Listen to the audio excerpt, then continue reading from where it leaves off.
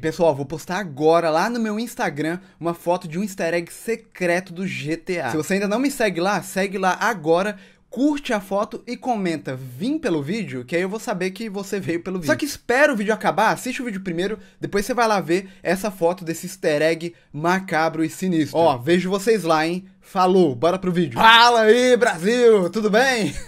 então, começando aqui mais um vídeo e é o seguinte, GTA San Andreas foi um dos primeiros jogos do estilo dele que teve muitos veículos, sério, eu ficava loucão quando era criança, pegando lá no Playstation 2 altos caminhões e tal, altos carros da hora e andando pela imensidão daquele mapa. E alguns veículos muito loucos e muito da hora ficaram escondidos pelo mapa. Diferente daqueles veículos que você encontra andando pela rua, né, tem aqueles carros normal lá, que você encontra andando pela rua. Alguns desses veículos que eu vou falar são tão diferentes e tão especiais que são raros. E no vídeo de hoje eu vou falar um pouco de cada um deles, né? Que eu vou mostrar algumas curiosidades e aonde você pode encontrar. Porque eu sou Will e se você é um nobre envenenado, já deixa aquele gostei aqui embaixo antes de começar o vídeo. Deixa aquele gostei pela nostalgia pelos velhos tempos. E Simbora! E para começar essa lista, nós vamos começar com um carro que é um dos carros muito raros do jogo, se não o mais raro de todos. Ele é muito difícil de ser encontrado e é o Hot Knife, esse carro aí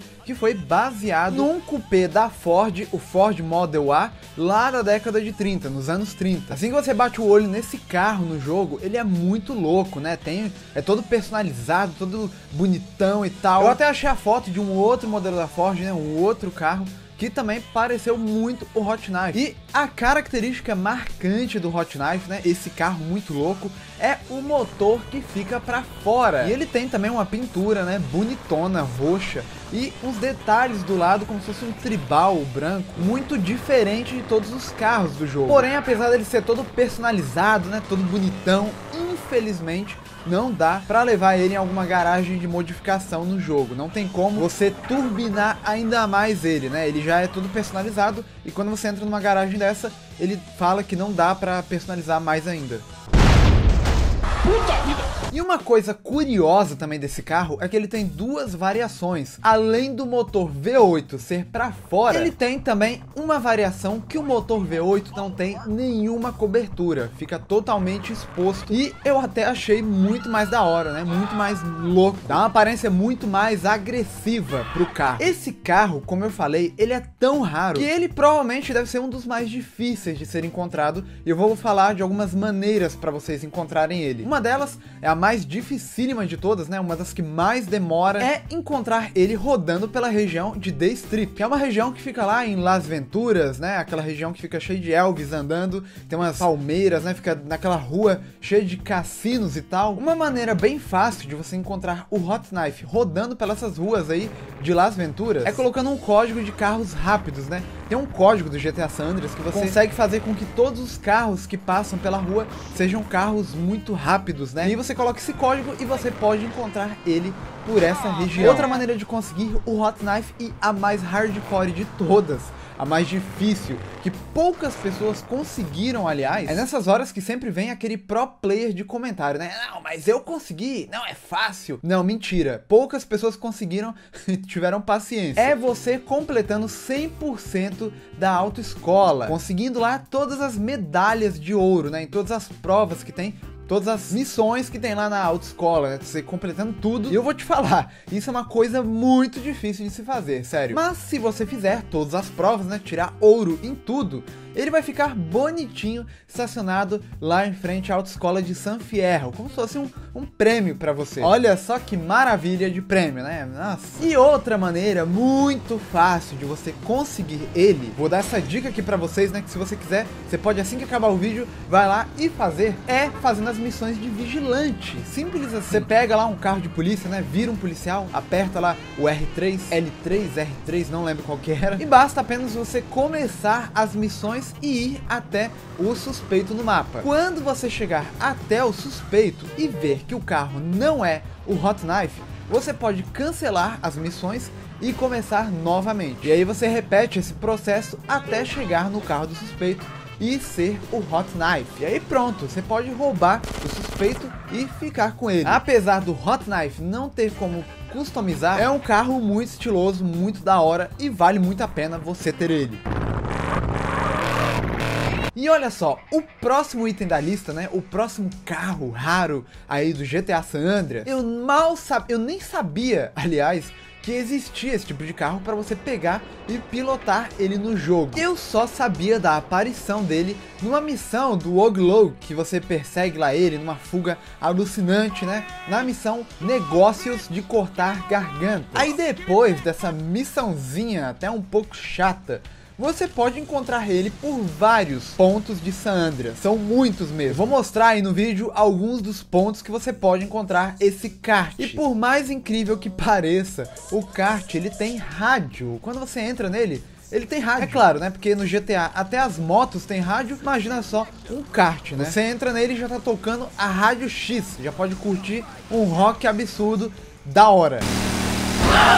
Olha só, por exemplo, você pode encontrar esse kart até perto lá da casa do CJ, né? Perto da Grove Street. E embaixo da ponte você pode encontrar esse carro aí, próximo da área dos Los Santos Vagos. Eu morreria sem saber disso, sério mesmo. Uma coisa muito engraçada desse kart aí é que você consegue passar por baixo do caminhão petroleiro e também do caminhão monstro. Você pode passar com ele de boas. Provavelmente um dos menores veículos do jogo. Meu Deus do céu.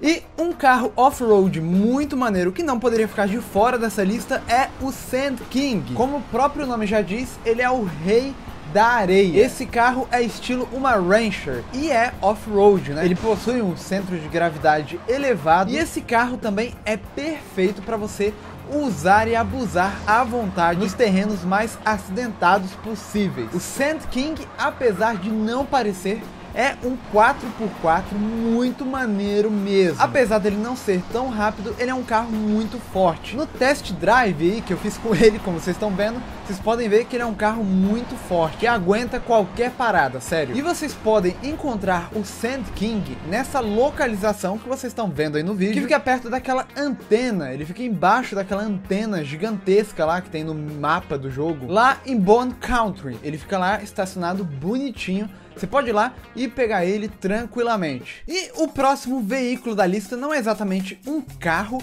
mas sim um avião. Não necessariamente um avião, mas um helicóptero muito louco. Eu acabei de falar do Sand King, né, que é o rei da areia, e agora eu vou falar do rei dos mares, que é um helicóptero baseado no Sikorsky SH 3, que é um helicóptero naval médio que pode realizar missões de transporte, salvamento e resgate e é usado pela Marinha Americana. E no GTA San Andreas nós tivemos o Leviathan. O Leviathan ele é bem lento até e ele é usado numa missão do jogo chamada Up Up and Away. Que na missão esse imã é usado para levantar uma caminhonete blindada. Depois que você completa essa missão, você pode encontrar ele em algumas áreas do mapa. A área mais fácil que ele fica estacionado abandonado é lá naquele aeroporto abandonado, que a gente começa várias missões dele. Se você for lá nesse aeroporto, você pode encontrar o Leviathan lá estacionado. E vocês estão ligados que no GTA San Andreas tem algumas aeronaves que podem fazer pouso na água tranquilamente. Foram projetadas para isso. Como por exemplo, esse avião aí chamado de Skimmer, sei lá como é que fala, e o helicóptero anfíbio Sea Sparrow. Vocês devem conhecer, vocês estão ligados, né? E acreditem se quiser, o Leviathan, ele é tão foda que ele consegue pousar na água também. É até difícil de acreditar que um helicóptero desse tamanho e tão pesado assim consiga pousar na água com perfeição. No primeiro momento, quando você pousa ele na água, dá até um pouco de medo, né? Parece que ele vai afundar ali, mas na verdade ele não vai afundar, ele fica bonitão lá boiando. Isso torna ele muito foda e um dos melhores veículos do jogo. Infelizmente, aquele imã que eu falei para vocês, que tem na missão do jogo, né? Que serve para pegar e acoplar alguns carros e sair levando. E claramente você poderia causar um caos por San Andreas usando esse imã. Ele só é disponível nessa missão do jogo. O veículo, depois, quando ele é disponibilizado, ele não tem esse imã. Pelo amor de Deus. Você só consegue o Leviathan com imã se você usar mods na versão de PC. É uma pena isso, né? Seria perfeito ele com imã para poder pegar todos os veículos. Ah, bicho! Pelo amor de... E o próximo item da lista, e não menos importante, é a van da SWAT. A van da SWAT é como se fosse um tanque de guerra da SWAT. E você só pode ver esse tanque da SWAT na última missão do jogo, lá na missão fim da linha. Você tem que pegar esse tanque da SWAT aí e adentrar no palácio do crack do Big Smoke, arrebentando a parede lá em frente. Por isso que esse veículo é tão raro, né? Porque você só encontra ele na última missão. Você não pode encontrar ele perambulando pelas ruas normalmente. Ou sei lá, pegando um milhão de estrelas de procurado, você também não consegue encontrar esse veículo. Apesar dele ser um tanque de guerra, né? Um tanque da SWAT, uma característica dele ruim, digamos assim, é que ele não é tão forte quanto o tanque de guerra do exército, né, que tem no jogo, o Rhino. E outra característica também nada a ver que tem nesse carro é que em cima dele tem como se fosse uma arma, né? Tem uma arma ali que dispara alguma coisa. E quando você usa isso aí, ela dispara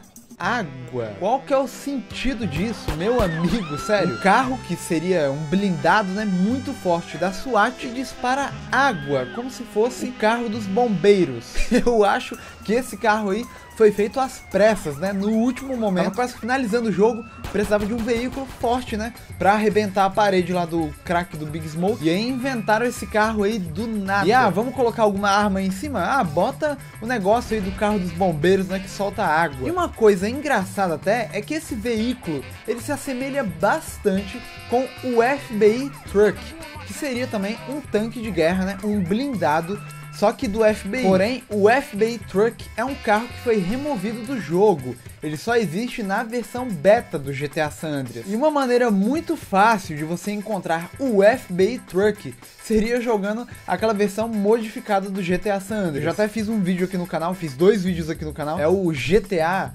4 de PlayStation 2, eles modificaram o FBI Truck para ser o caveirão do Bop. E aí o caveirão do Bop não tem esse esguicho de água em cima. Eu tenho certeza que muitos de vocês já jogaram o GTA 4 de PlayStation 2 e encontraram o FBI Truck, que na verdade é o caveirão do Bop. E uma maneira muito fácil de você conseguir salvar a van da SWAT, né? O tanque de guerra da SWAT que solta água, e você ficar com ele para sempre. Olha só que coisa maneira. É você ir até a última missão do jogo, roubar ele, né? Como tem que roubar. E ao invés de fazer a missão, você ignorar totalmente e ir para alguma garagem e salvar ele lá dentro. E aí é só falhar a missão, né? Você falha a missão de algum jeito, né? Morre aí, sei lá. Aí você pode salvar o jogo e o carro fica lá para você para sempre, né? Você tem essa recordação aí do GTA San Andreas. Muito maneiro mesmo. E é isso aí, pessoal. Vou ficando por aqui. Muito obrigado você que assistiu esse vídeo. Em breve, talvez uma parte 2, se esse vídeo tiver bastante gostei, beleza? É nóis. Valeu. Assista os últimos vídeos